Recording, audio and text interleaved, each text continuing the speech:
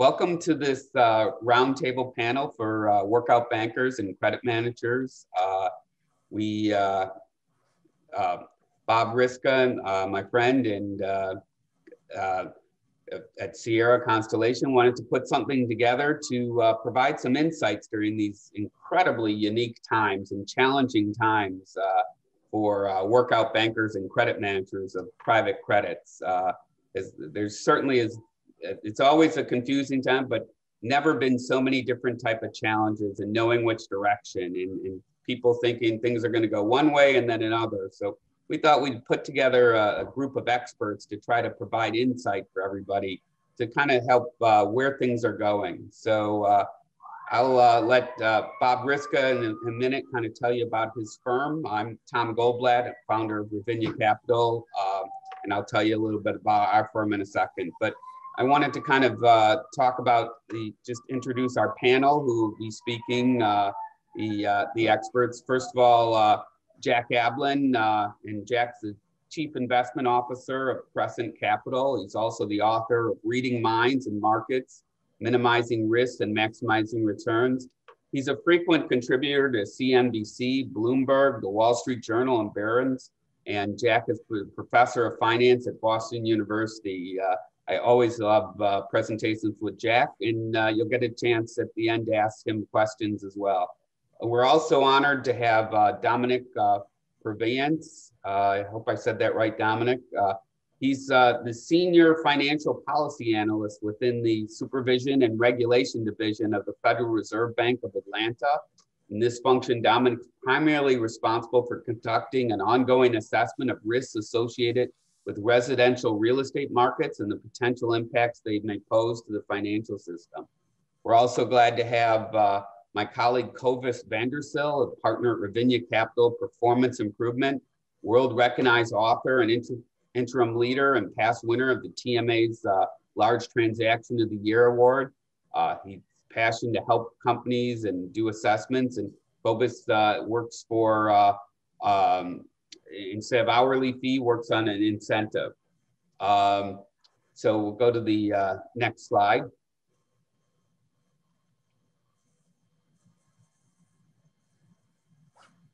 a little bit about Ravinia Capital. Uh, we're a middle market investment bank based in Chicago. We're a trusted independent advisor to privately held clients, specializing in custom transaction processes for distressed companies facing complex or urgent challenges. We uh, partner with clients to sell companies in and out of bankruptcy, find additional capital, find new lenders, prepare, prepare 13 week cash flows, perform holistic business assessments, and create and execution and execute plans under tight deadlines. In all cases, we work with lenders and their clients to assess possible options and proceed deliberately with a tailored plan for maximizing sales proceeds and optimizing outcomes for all stakeholders. We're committed to delivering results and, uh, and we're flexible compensation plans based on success metrics, not just hours worked. Next. And uh, again, we primarily work on success fees. Uh, our wealth of diverse knowledge and experience allows us to advise, identify, and implement the best strategies for meeting unique needs of companies facing wide variety of special situations. We focus on solutions and um, and uh, right now, with what we do with capital transactions is probably a, a great way to do uh, workout and help with credit. So we'll get into that more later. I'll introduce now uh, Robert Riiska, who will tell you a little bit about Sierra Constellation. And after that, we'll uh, get into the uh, meat of the presentation. And again, There'll be time at the end for open question and conversation. Bob? Great, thanks, thanks Tom. And again, uh, really great partnering with Tom and Ravinia on this and, and other things. Uh, we're also middle market focused. Um, we're a national interim management and advisory firm. Uh, we are headquartered in Los Angeles, but do have offices and personnel around the country uh, serving a nationwide client base. Uh, we do have three main practice areas uh, turnaround management and financial restructuring. Uh, this basically is, uh, you know, uh, operating on a triage basis, dealing with uh, trying to reduce cash burn, get some financial controls in place, assess what's what's happening. We have a performance improvement practice this is where we're looking for longer term success, fix it, helping fix the business, drive profitability and success. Um, and then third is interim management. And this is a, uh, where we serve in various roles, including uh, interim CEO, CFO, COO, chief restructuring officer, et cetera, uh, to, to, either fill gaps uh, within a company or to um, you know, execute, develop and execute on plans um, uh, you know, going forward. Um, next slide, please. Yeah, so what sets us apart? Um, you know, we do offer flexible solutions. We do not use boilerplate uh, uh, analyses. Uh, we look at each situation uh, on an individual basis. Um, we, we're very experienced uh, in terms of implementing action plans that address critical needs. And we do understand, and especially in the middle market, the need to collaborate and work with various stakeholders. So again, we're uh, very used to doing that. And again, don't come in and uh, again, we, we want to the extent possible work with existing management and stakeholders. The very last thing I just want to mention as, as part of us, uh, I am having the uh, good fortune of speaking at an in-person conference coming up on July 27th and 28th. Um, uh, I know Tom and Domonic have both spoken at this group's uh, conference. It's the IMN uh, Special Assets and Credit Officers Forum in Dana Point on July 27th and 28th. If anyone on this call is interested in attending, please just shoot me an email and I'll get you registered. Thank you. Thanks, Bob. All right, well, we'll get right to uh, to Jack. And uh, boy, is it what an interesting uh, time. You got inflation, you got what's going on with the, the Fed. Can uh, why don't you give us a little insight uh, that can help the uh, workout bankers deal with their their credits? Sure. Um, I have a presentation. Um, maybe just give everyone a little, just a two second background. So Cresset we started Cresset in 2017. Uh, four of us, uh, Avy Stein, Eric Becker, Doug Regan, and me, um, and kind of got rolling with our office space in early 2018, and then um, have have uh, grown substantially since then. Have offices around the country. I'm actually in our West Palm Beach office today, uh, but we're up to about 13 billion now in assets for um, individuals, high net worth individuals, and families. And I would say our probably our most consistent client is um, the CEO business owner. Um, so we have a great entrepreneurial ecosystem among our uh, among our clients. Uh, 70% of Cresset is owned by employees, and the remaining 30% is owned by uh, our clients. So uh, with that, let's uh, launch into it. Lillian, why don't we put up the um, slide deck? I think my bottom line is I'm going to say interest rates are too low. I think probably most of you would agree with me uh, that rates are too low for current conditions. I think the Fed has pretty much uh, been outspoken in their belief in keeping overnight rates at zero through 2022 and maintaining, at least for right now, their quantitative hundred uh, billion dollar treasury purchase, uh, uh, twenty billion dollar mortgage purchase program every month, um, indefinitely. Although um, there is some talk of tapering. Uh, uh, Jack, there was a little technical glitch, and they're trying to get the uh, uh, slides back up. But for now, if you could just they worked. They worked great about ten minutes ago. It it it, it, it did. They did. Okay, so anyway, well, I can talk through some of those slides. Um, if you look at the the, and I'm just going to use the S&P 500 and other major markets as a proxy for risk taking, equity risk taking. Uh, what you'll um, hopefully see at some point is that probably two thirds to three quarters of the total return that um, equity investors have enjoyed over the last 10 years uh, was the result of valuation expansion, uh, meaning that um, if you look at the 260%, 270% cumulative return in the S&P between 2010 through 2020, about 100 percentage points of that can be attributable to what we'll call organic earnings growth and dividend yield. Pretty much what everyone is entitled to as a shareholder. Um, the other 170 percentage points uh, was was attributable to valuation expansion. The fact that all of a sudden uh, investors are willing to pay more for a dollar of earnings than they were in the previous year.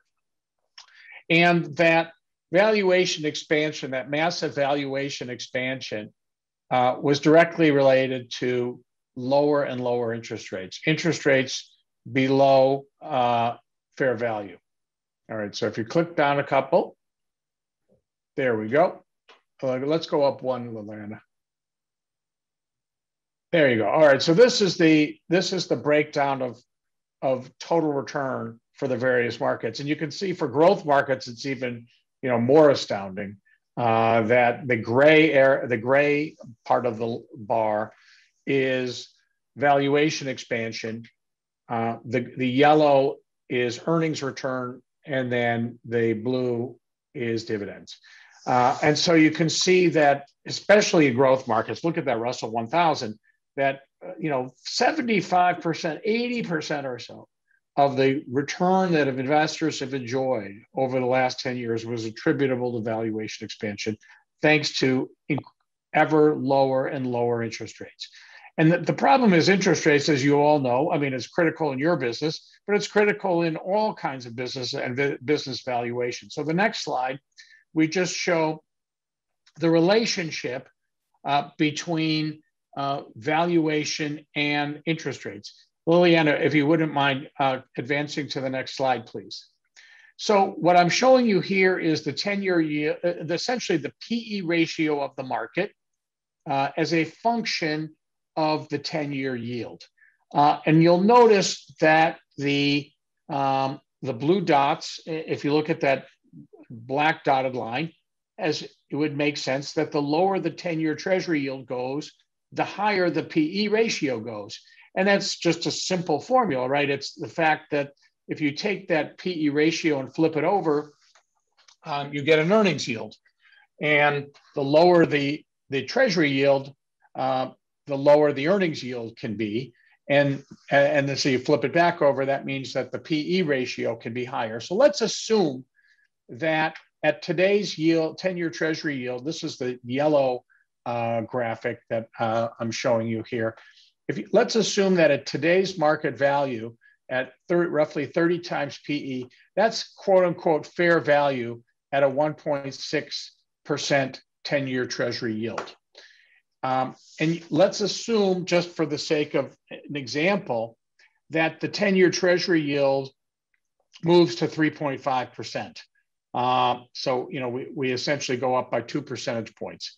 What that would suggest is assuming that the market is fairly priced today, not expensive. We're, we're not suggesting it's expensive, although you could, I could convince myself and you could probably convince yourself that the market's expensive. But assuming that it's fairly priced based on 1.6, that would say that at 3.5, uh, to, uh, if it were fairly valued, it would suggest a 20 times PE ratio. Well, what does that mean? That means that earnings would have to expand by 50% in order to keep prices where they are today. So clearly, you have this, while we have certainly a lot of earnings growth and a lot of growth in top line growth, we've got fiscal spending, um, you know, everything going for the market near term.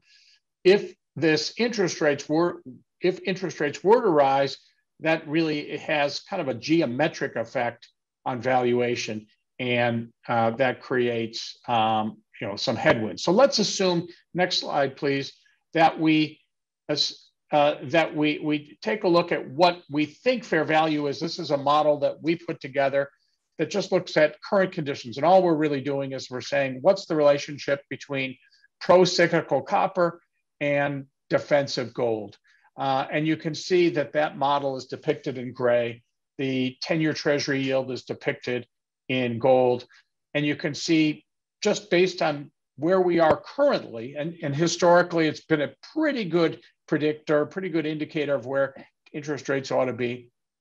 And now you can see that, um, you know, perhaps the Fed is, is doing some manipulation here because uh, based on these relationships, it would suggest the 10 year treasury should be about 2.8, uh, not 1.6. Um, and like I said, uh, Jay Powell and company have been on record saying they're going to keep that overnight rate um, low um, through 2022. The 10 year rate, which is really a, uh, a function of quantitative easing.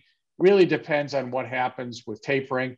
Uh, I, we've heard that President, uh, uh, St. Louis President um, Bullard told Bloomberg News that the Fed is waiting for 75% uh, vaccination inoculations among American adults to start tapering.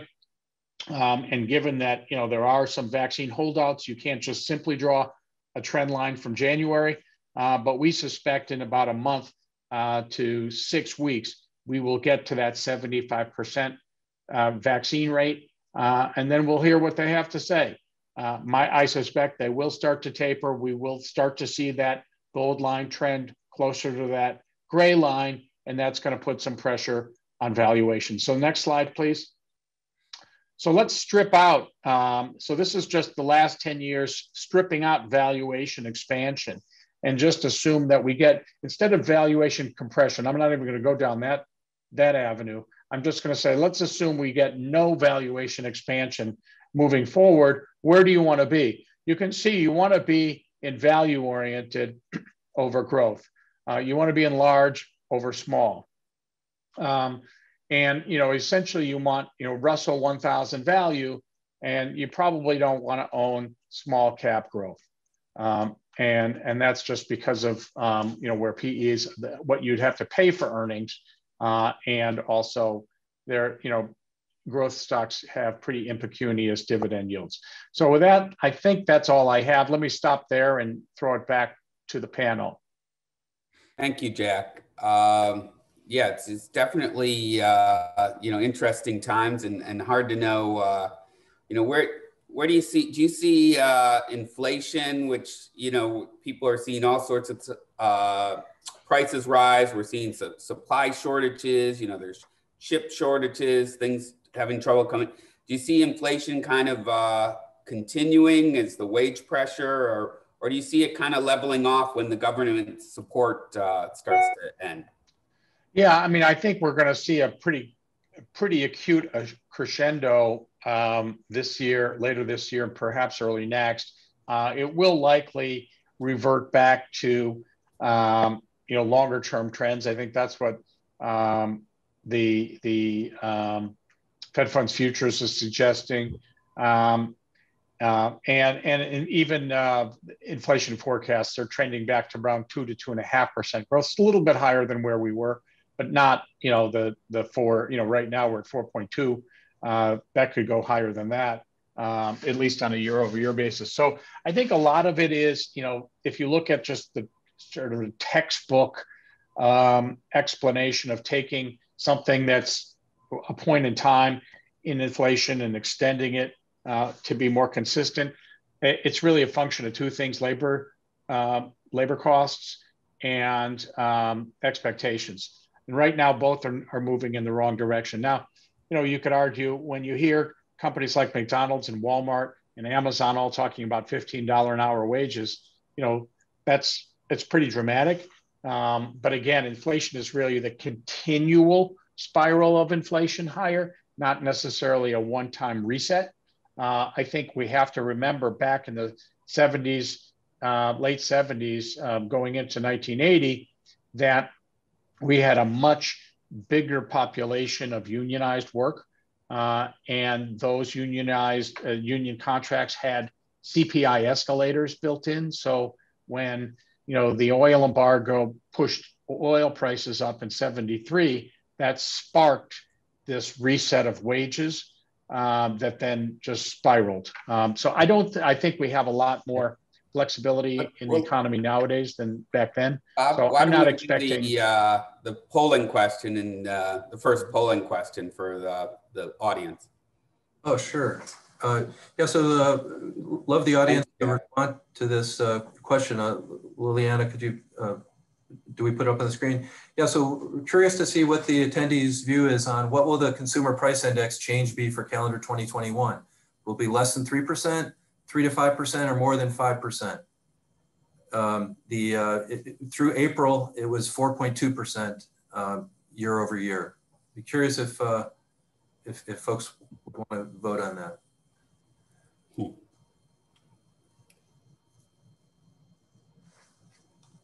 I'll give you give you a moment. It's certainly going to be uh, Friday when the new uh, job report comes out. It's going to be interesting. I mean, it was such a big miss uh, last month where they thought there'd be a, a million and, and then it was 250. Uh, and then there's all people, you know, saying there's millions of jobs, people looking for work uh, are, uh, and they can't find the employees. So it's going to be interesting to see. I, I, think there's big debate. I, I definitely say that the government incentives are keeping a lot of people on the sideline. Okay. Maybe, maybe a technical glitch here as well. Uh, doesn't seem to be registering. I'm not uh, seeing anything coming up. Uh, so uh, sorry about that, but uh, let me, if you don't mind, I just do have a question for Jack. Um, Jack, so the, you're, you're, you're looking at valuations and the, the trends that you're seeing. Just curious how, how you think that might relate to the workout people and credit officers who are on this call in terms of looking at their borrowers who I think in many cases have been in a holding pattern. Um, and now they're going to be looking to deploy capital for new equipment, make strategic decisions, et cetera. Will, will equity stand behind those? And how should, how should the, the credit folks on our call take, take what you're saying into account? Yeah, I think when you look at um, the current situation environment through a workout you know d- distressed credit lens, I wouldn't be surprised if most of you are you know your phones aren't ringing off the hook right now. Um, the fact is that you know we've got incredible top line growth with um, you know like I said artificially low financing rates. So if you take for example, not only is the benchmark rate um, too low, um, there we go. Uh, what it, it looks like uh, Three to five. Three to three to five percent. Okay. Any? Okay. Yeah. Nobody thinks less than three. Yeah, that's interesting. We, we're seeing similar results. Um, both lumber and steel rebar has started to come down, and there looks to be a little bit of demand destruction. So at some point, you, you could see that. So it's going to be interesting to see where that balance point is reached.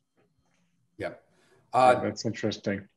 Domonic. Yeah, so uh, the point is that you know credit spreads are you know not only are rates low, but credit spreads are remarkably low. I think if you look at high yield bond spreads, they're trading in below the 25th percentile of their historical range. So the argument here is that lenders are still tripping over themselves to extend credit to all kinds of borrowers, high quality, low quality. So I would say, you know, um, at some point, you know, when the music does start to stop, um, you know, I think that, you know, people in your position, you know, you're very smart um, people who are willing to dig in and look at a, the quality of, of the assets and the quality of the, of the, the business. And there's going to be a real test. Um, you know, I know um, there are a lot of companies, uh, I like to pick on Sears, but there are a lot of companies like Sears that probably should have been out of business 10 years ago. But, you know, thanks only to low interest rates and easy financing terms that you know these are companies that have stayed in business uh, for as long as they have. So at some point i think that tide is going to wash its way out and and you know as warren buffett says you know we'll see who's wearing a bathing suit and who isn't. Mm-hmm. uh, let's turn over to uh, to domonic and, and let him uh, present and provide insight from the uh, the fed. Um, first of all, I want to thank Jack. I think that was an, an excellent overview, and I, I, certainly took some notes and, and, and learned some things. Uh, so I'm on the banking supervision side and not necessarily the monetary policy side. So I, I won't I, I, um, um, offer um, as much information or insights on what the, the Fed's monetary policy uh, thinking is.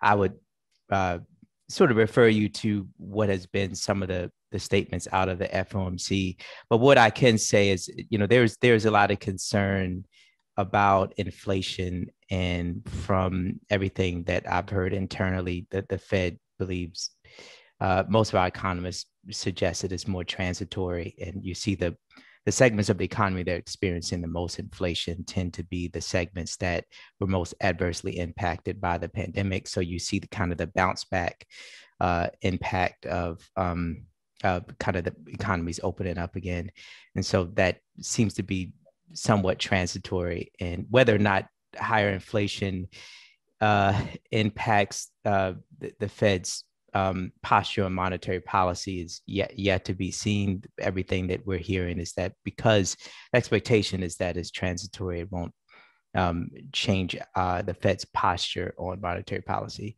Um, however, the FOMC meets in, uh, in in a week or so, and so we'll we'll see if um, if anything changes. So with with that, uh, I want to talk about uh, housing. I am the subject matter expert in uh, residential real estate at the uh, Federal Reserve Bank of Atlanta. A little bit about the Atlanta Fed. Atlanta Fed is sort of the center for real estate for the Federal Reserve System. Uh, we have experts in residential and commercial. Part of it part of this was a byproduct of the, the last downturn when we had a a significant impact in in in both commercial and residential real estate in our district. So we beefed up expertise, and that expertise kind of is provided for the, for the Fed system. Um, I uh, regularly do presentations and outreach, not just within our system, but uh, you know, uh, without, with not just within our district, but across the system and external parties uh, like yourself. I do have to give one caveat that my views are my views and don't necessarily represent the views of the uh, Federal Reserve Bank of Atlanta or the Board of Governors.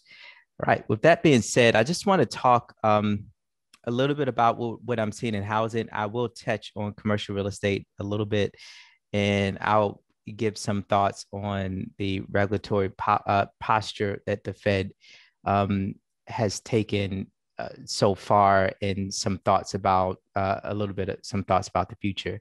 So, so, so talking about housing, housing has um, been one of the few bright spots over the over the past year. We've seen a tremendous growth in um, in in housing demand, and I sort of consider it taking place in in two waves. So there was demand generated for housing that was really sparked by, as Jack mentioned, very low interest rates. So buyers saw uh, low rates. They wanted to either refinance their mortgage or they took advantage of the opportunity to buy um, a, a, house that you know low rates made it a little bit more affordable. Uh, however, what's happened is you had an increase in demand, but not a uh, subsequent increase in supply, and so that resulted in this this upward pressure on on home prices almost everywhere. Um, and as a result, uh, not only did homes get more expensive, but people had a whole lot more equity. And so what we're seeing now today is so the first wave of demand was really generated by low int- interest rates. Uh, I would consider kind of the second half of last year, we've seen a, a growth in activity driven by uh, uh, uh, homeowners that have a significant amount of equity. They're able to cash out and make investments in real estate. And so if you look at March of last year, uh, 15% of, of existing home sales were to all cash buyers. Uh, in March of this year, that was 25% of, of the market. Actually, I think that's April's number is 25%. Wow. And, um, and so what's happened is the demand is uh, is shifting from high cost markets to low cost markets. So if you're in New York or New Jersey or in California, you have a lot of equity in your house. There isn't any inventory that you can really afford um, in those markets. So you you cash out in uh, of California and you buy a house in Texas, or uh, we've seen tremendous growth from people from moving from California to markets like Idaho or or Phoenix or Las Vegas. And consequently, what's happened is if you come to a market that uh, you know, say in the uh, in San Jose, average home price, median home price is a million dollars. You cash out, you go to market market like uh, Las Vegas, you have a whole bunch of cash. You can pay well above asking price, uh, and if if the a property doesn't appraise, you can kind of make up the difference because you have the cash. And we're seeing that all over the place. And the result has been um, you know, if you're a local buyer, you're sort of priced out of the market because transferees from other markets have a whole bunch of cash that they can sort of um, outprice your local buyers. And we've seen tremendous, that's caused even more upward pressure on prices. So the beginning part of this year, I think our March number for home price appreciation was 12%, 12.5%. That's probably the highest we've seen since since the 2006 in terms of appreciation. And the net result of that has been a decline in housing affordability almost everywhere. And uh, of we have a the Federal Reserve Bank of Atlanta uh, has a, um, a, a public tool that we make available uh, called the Home Ownership Affordability Monitor, and I will put a, a link to it in in the chat if if anyone would like to go to it. Um, we track housing affordability uh, for um, uh, every market, uh, every major MSA in the country, and we go down to the to the county level, so you can track affordability at kind of very sub market levels. And um, of our markets, uh, we cover maybe over 600 uh, MSAs and um, in metro divisions. In in our monitor, we had about 80% of our metro areas saw a decline in affordability last month. Um, um, well, that's in March was the last month that we have data for. And that is because it, even though interest rates have been at historic lows, we're still seeing a decline in affordability, mostly because home prices have gone up significantly. Um, and so the net result of that has been if you look at home sales, home sales have contracted uh, the latest number from NAR's home sales are down about 2.7%. If you look at mortgage originations, they've also slowed. We're still, you know, high relative to where we were last year, but we're starting to see the slowdown in activity. And presumably it's buyers feeling that, you know, prices are getting a little bit high. Um, so some of the concerns that, you know, again, these are my, this is my, my opinion. Um, I do think that there is some long term, it will be a long term challenge in housing affordability. We talked to builders. Uh, my gosh, um, I, I, you mentioned a, a, second ago, we've seen some um, uh, um, uh, alleviation of pressure on, on lumber prices, but man, the, the cost escalation for home builders has been extraordinary, and home builders have just elected to limit sales. So if you see decline in new home sales, it's not because demand has slowed; it's because builders are intentionally slowing sales because they can't they can't keep pace with cost. Um, and that's that's been a, a big issue in in the new home uh, new home space. We also seen uh, new uh, this is sort of anecdotal, but new home builders uh, I've talked to have told me in the past year they've seen an increase in investor activity, mostly from investors looking to build uh, rental portfolios. And what's happened is uh, single family new con- new construction, single family houses that are purposed for rentals are sort sort of or bought for rental are taking place of uh, apartment developments in the suburbs because there's a lot of restriction on multifamily development. So what's happening is, you know, with just uh, investors are buying up new new constructed homes and using them as rental properties to sort of make up the demand, and they anticipate buyers not being able to afford to purchase a home, so they're building up rental portfolios to kind of take advantage of that market in the future. Uh, so Domonic, along, I, yes, Domonic, yes, sure. I interject and just ask you a question, I, I saw a statistic sure. yesterday from the American Bankruptcy Institute that said 11 million Americans are behind on rent right now, and I'm not quite sure how I feel about that number. On one hand, it seems like it might be low, but uh, how would that affect, uh, you know, again, what, what you're talking about now about, uh, you know, the, the, the rental market and and impact on, on real estate values? Um, so if I if I segment the market from single family rental to multifamily, the the single family rental market is uh, has sort of matured since the last crisis because so many uh, investors have flooded the market. They've been able to build portfolios of properties. They're not seeing as much um, uh, bar uh, renters behind on their their their payments as multifamily is seeing. Um, on the multifamily side, uh, there is um, there is concern that um, there are a lot of renters that have taken advantage of the moratoriums on evictions and um, haven't been paying rent. it will be interesting to see when. Um, so I think the moratoriums extend to the end of June. It'd be interesting to see whether or not um, those renters are are able to uh, to go back into making their rent payments. Yeah. One thing is it's not as big of concern because even still, multifamily, uh, if you look at vacancy rates, still are relatively low, um, particularly in the, this B and C space. And so, if there is a wave of evictions, which I'm not sure if we'll see, um, I don't, I'm not sure it will impact uh, valuations in the multifamily space because we just are, are still we're, we're still at capacity.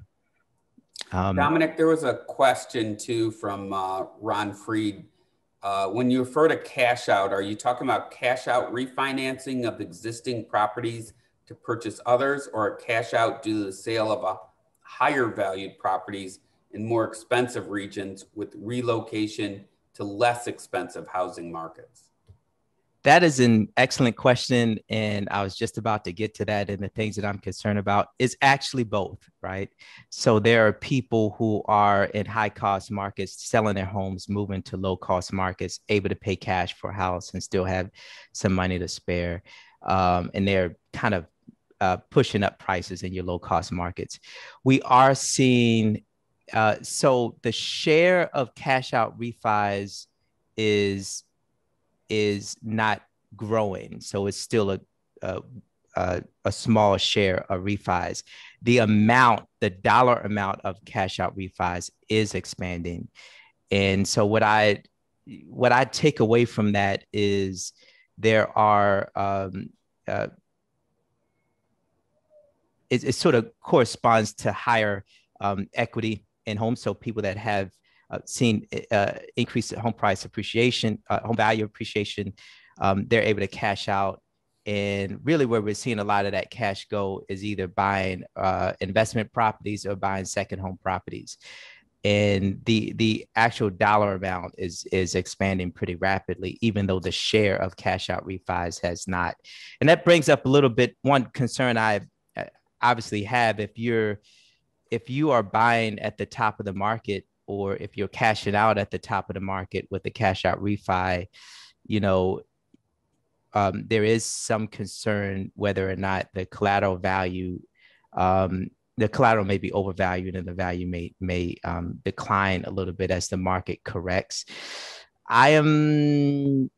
It's something that I'm paying attention to. I don't think it's it's an overwhelming concern right now. It's simply because inventory is so low we still are at, even though inventory has started to, to increase a little bit with the slowdown in sales, we're still at 2.2 months supply of inventory, and we should be somewhere between four to six. So I'm not concerned with um, kind of home prices going down if there's a contraction in demand, and that may create a risk for collateral valuations. Um, but it's something to pay pay attention to because it's very submarket specific, right? So if you're in a certain submarket where prices are actually overvalued, you may be at a higher risk than a more mature market where value is a little bit more realistic. Um, Tom, you had a, a question? Yeah. Um, yes. You know, with the uh, beginning of the pandemic, uh, everybody thought the world was going to come to an end, and uh, you know, banks reserved huge amounts for uh, loans, and then they they shifted a lot of people off the line to work out and regulators were kind of saying, you know, let you know, kind of don't criticize loans and and and, and go easy on, on people. And as time went on, um, it, turned out there, there just wasn't a lot of uh, defaults uh, expected. A lot of that due to the uh, the government coming in and, and helping. Um, but then the, the bank started shifting the people off of workout and, and back into the line. And then the reserves now people are drawing down. But what is the, the um, can you give us some insight to what the Fed is saying now? It, it, you know, before they were saying hold back. Uh, you know, do they have a, a, a, posture that you know the workout bankers can kind of uh, you know take you know because I've heard different things. Yeah, and it's it's because um, members of the FOMC surprisingly, people uh, when we think about the Fed's position, it's kind of one position, but there there's some divergent opinions even within the FOMC. But overall, what what I've heard is that first that the you know we were just as surprised as everyone else that we didn't see a, a wave of um of of distress assets and big problems like we saw before.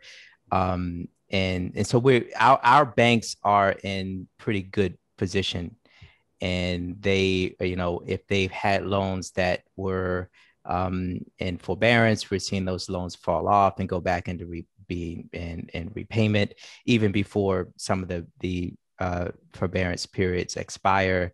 Um, so we're very very confident and optimistic just within our banks. We know that from from a mortgage perspective a lot of mortgages are are today are being originated by non-banks and it's hard to sort of gauge you know how those loans are performing. But overall there's some cost, cautious optimism about where we are. In terms of our posture we have we uh, began the pandemic very uh, accommodating and and encouraging our lenders to work with borrowers um, as much as possible um, you know that accommodation uh, uh accommodative posture is is is still in effect and we're still encouraging lenders to work with their borrowers. And I can't speak for other regulators, only can kind of speak for the Fed. So that that seems to be what where where we are. However, um, there is uh, we are encouraging uh, just internally the conversations that I've had. We're encouraging banks to uh, be prepared to move to a more um, uh, uh, traditional uh, um, way of evaluating distressed assets. Um, at some point, some of the federal accommodation is going to come to an end, and we have to figure out how to to uh, to deal with you know borrowers that are behind on their payments. You know, there are some um, there are some options to kind of get people back to in terms of the mortgage uh, residential mortgage side is option to get people back into repayment and we want um, you know our our banks to to kind of work with borrowers as much as possible but just overall just you know it, it is advisable to be prepared to um, later on this year as some of the, the the moratoriums and forbearance periods come to an end to be prepared to to uh, work with borrowers to get them back to making payments also be prepared to look to move to a more traditional way of looking at distressed assets Thank you. That's helpful. Bob, why don't you do the second polling question? Um, then we'll do COVID sure. and we'll open up to questions with the time left. Sure, sounds good. Yeah, if, uh, if you can Thank you, Domonic. put that up on the on the screen, that'd be great. Yeah, so the, the question is, what will the 10-year treasury note yield be as of the end of this year? We've been talking about it. It's been running right around 1.6%, fluctuating uh, over the past several days, weeks. Uh, predicted it'll be less than one and a half, between one and a half and two or is it going to be more than 2%? So, if, if yep. Uh, could, While we're waiting for the results, yeah, just to kind of uh, relate to mm-hmm. where I've been studying recently, kind of the, the history of workout in a sense since uh, 99, since the intercom bubble. And it seems like there was the most workout between 99 and 2005. And that's when the Fed actually did raise rates. And so, uh, and then, really, since then, there's only other than 2009, there's not been a period of real workout. It's been very light. And that's because the Fed has been so accommodative. And like Jack was talking in the beginning, the value of companies keeps going up. So any loans, we talked to remember in 2009 about a wall of debt coming, the refinance. Well, all that got refinanced. And until the rates are really uh, coming up in 2018, there was a talk about they started raising rate and then there was the taper tantrum uh, and then they reverted because they got scared and uh, but so the question is are they bluffing this time it, it, you know and I, I, think that they're going to be for real and like jack talked about and, and domonic they're, they're going to talk this week but when when people start to realize that the rates are going to go up i think then you're going to see those values that jack showed 30 time uh, and, and private companies right now, the average, by the way, is 14 times.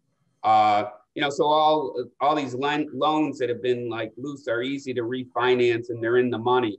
But when the interest rates start to really go up, the money's going to rush into those higher yielding uh, um, bond instruments and treasuries. And that's when I think we're going to see a, a, a large wave of uh, the next wave of workout. Okay, so um, looks like everybody kind of is playing it down the middle. I personally think it's going to go up more than uh, 2% uh, just as people start to realize that it's, it's going to go start to normalize. Um, okay, Kobus, uh, how about uh, you're up? Yes, thank you. Thank you, Tom. Um, Liliana, if you could um, put that last slide up for me, that would be appreciated. But what I'm about to show is the what they call the, the walking dead. It's the Russell 3000. Earlier we saw from Jack the Russell 2000 um, performance of the value. Um, they, you still see the Russell 2000. And, but this shows the Russell 3000 companies that, that are not able to, to repay their, their debt. That's basically issuing new debt to cover old debt. And this trend, this is a long chart. You see we are now, and this is as of September last year. Um, I this morning I got an update as of end of January. We're now over that peak. We're now into the 20%. Um, so we, we've made a new high. So the point here is two things.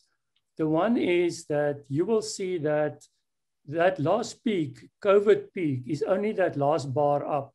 There was a problem even before COVID, which is important to know. Um, so a lot of zombie companies are going around and the banks have, have these zombies or they may be um, publicly listed companies um, that, that are really highly levered. And now with COVID, it's even worse. My problem is that there's no lineup at the firm like ours for these type of zombies to be worked out. And it's a great dilemma. We don't understand it. We, so the question I'm asking is, even though it's a simple reason really, who will not take more money um, if the Fed makes it available for them various through various programs rather than than taking uh, a consultant or a, a workout type of uh, approach to to making the firm leaner. Um, so my question is really, what is preventing one bank or one banker from starting to, to make a difference anyway? And that's what we've been doing at Ravinia is um, the few companies that do um, are unable to find refinancing capital, we, we work with them and we, we work with them and we get them leaner and we, we do the responsible thing. Even in this market where, where we feel that these lever, these um, amount of capital out there is forcing companies to make really silly decisions, we, we are taking those few companies um, and, and working them back to, to, to within their covenant ratios. And we, we would want to hear from the audience as bank, as special asset bankers, what is preventing you from doing that same thing and um, why are more of these zombie companies not, not um, being, being worked out? And in the future, when programs are being made available to companies, um, it should come with some strings attached so that the core fundamental problems in these businesses can be addressed while they get new funding. We understand that during COVID, a lot of industries needed the funding, but uh, as time goes by, those, those companies must come back within covenant ratios so that they can be sustainable for a long term. That'll be interesting to see how that plays out. Excellent. Appreciate that. Uh, Robert, how about the third and final polling question? Then we'll open it up for uh, general questions. Sure. And if you put it up there, so uh, Liliana, if you could put that up there. Uh, this question is regarding uh, default rates. So on leveraged loans, uh, what do you think the trailing 12 month default rate will be on leveraged loans? This is uh, per Fitch. It was 3.3% as of April 2021. Uh, just historically, it had gone up considerably at the beginning of COVID and has really trailed down significantly. So um, if you could do that. And by the way, just uh, while, while the votes are being tabulated, Kobus, I thought your, your, your chart was fascinating. And I think using that measure of interest versus uh, uh, profitability versus debt, uh, interest costs also, you know, would be further exacerbated by, you know, situations where there's been deferred rent and now companies need to, you know, start, you know, taking care of that. You know, they've had uh, uh, their other operating efficiencies masked by, you know, PPP loan, you know, money that's come in.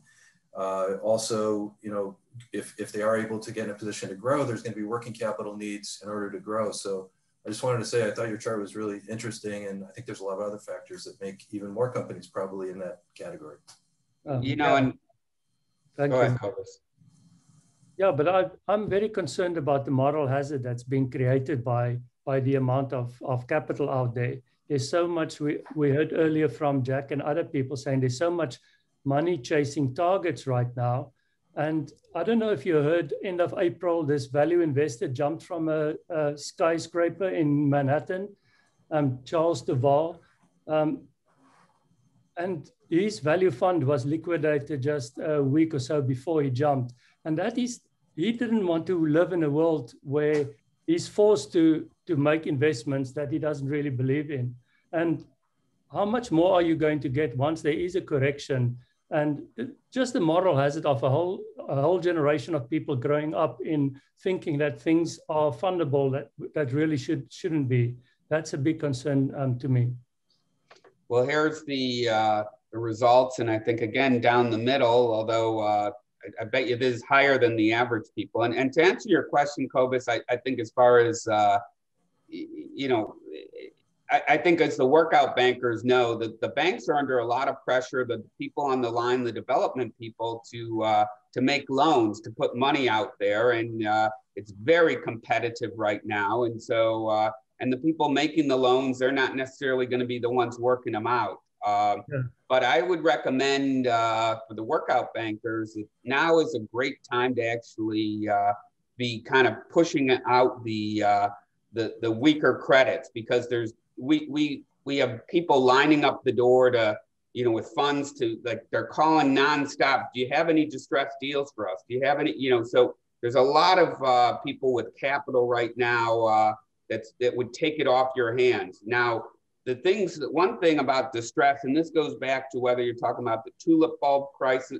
uh, bubble, you're talking about the 29 crash, whatever it is it's always uh, the market is in two mindsets. It's either all go or then it uh, is all go. And so that you know, I remember 2009. It was you couldn't find a bank out there uh, to make a loan on, and you know about it. The best deals were made during that period. So now's a good time to be proactive in my mind. If we we ran some auctions uh, during the pandemic and had 16 topping bids, so it's a it's a great time to be proactive. Yeah, and so, people uh, like and Bob have people available to do that now. And when that window um, slams shut again, um, then then it changes. So it's a good time both from a capital availability and the availability of of turnaround people that can make a difference um, to to do that work now. Yep. Uh, now here's a question: The Walking Dead chart is a measure of profits to interest, with no apparent consideration given to cash flow or free cash flow. Well, the one that I showed is based on EBITDA, and there's another one that only use um, EBIT that does not include the depreciation. Um, but that that is that is um, very close to cash flow. It's as good as you as you get. Um, uh, so I think it is a good reflection. Any final questions or uh, anything a panelist wants to add? Robert? Jack, Jack, a question? Yeah, uh, I'd be curious, uh, again, looking at, again, future valuations, um, you know, with the move from, you know, direct stimulus payments to, you know, an infra potential infrastructure bill. Um, any thoughts on kind of, you know, where, where you think, uh, where, where you think people should be? Like what, you know, what, uh, who's going to benefit from that? Yeah, I know it's a, it, it, that's a great question. I spend a lot of my time on macro um, and I, I do think that, and I'm sure many of you would agree with me, that America has under invested in manufacturing and logistics capabilities. Um, we actually uh, have partnered with, um, uh, well, actually, Larry Levy's real estate team is now our team. Um, and we're doing uh, build and sell uh, uh, industrial buildings, logistics centers, warehouses, fulfillment centers around the country. So we're going to do, we're just embarking on a five year plan. I think we're raising um, 100 million, I believe. Um, and we're literally just building and selling um, industrial properties nationwide. So we, we do think there's a, a huge opportunity for uh, reshoring of manufacturing. Obviously, a lot of it's going to have to carry some incentives, but I think um, that trend is our friend. No, I agree. I see it with semiconductors as well. Um, a lot of those manufacturers in, in Arizona are now bringing things home, and a lot of these shortages will drive those type of decisions. Yeah. Matthew Howe asked, the Federal Reserve recently indicated their concerns on current valuations of assets. How does the panel view in terms of potential workout credits? Domonic? Um, uh, I'm, I'm not sure if this, this may be a, a, a better question for um, you know some of the other panelists that's kind of reacting to it, but uh, you know I uh, I I sort of share some of the concern that we we made some assets are particularly on the residential side are are, are overvalued, but be interesting to see how other people think that may in, impact uh, workouts. Uh, just to add on to that, and, and thanks for the question, Matt. Um, I'm just looking at an article I read yesterday from uh, an organization I, I, I, follow, the Secured Finance Network, and they noted that you know that you know even though as the uh, output recovers to pre-pandemic levels, there's pockets of stress emerging. You know, manufacturers struggling to obtain key inputs, sectors are reporting difficulties finding enough workers, uh, rebounding consumer demand is putting you know pressure on prices, et cetera. So I, I think that uh, you know the, the, the, stress is there, and you know, again, it does seem to us uh, that yeah, you know, that there is going to be increased activity on the workout side. Yeah, I think a lot of it depends on pricing power, right? If if you can pass your co costs along, you'll you know be able to you know thrive. Um, if you're a price taker, you're going to get squeezed. Yeah. Yep. Um, well, I think that's going to conclude. I, I guess uh, I wish everybody. Uh, it's going to. It's an interesting time. Everybody's now starting to go out. I hope everybody, the workout bankers, uh, can enjoy their summer. And I think, uh, given what I've heard on this panel, they should get ready. It's going to become a, a, a busy time again. Um, but uh, right now, uh, relative easy credit continues for the time being, and we appreciate all the panelists, Domonic, Jack, Kobus, thank you. Uh, Robert and uh, the Sierra team, I want to thank. They've been uh, great. Uh, my Ravinia team to help put this together. And uh, I hope that uh, everybody got something out of this. And feel free to contact any of us if we can help with with anything, with a, a, sale or a refinance, or Sierra can help with um, with uh, consulting and interim consulting, and Kobus can help with profit improvement. And uh, thank you, everybody, and we look thank forward to uh, staying in touch. Thank you. Thanks very much, everyone. Thank you, everyone. Enjoyed it. Bye.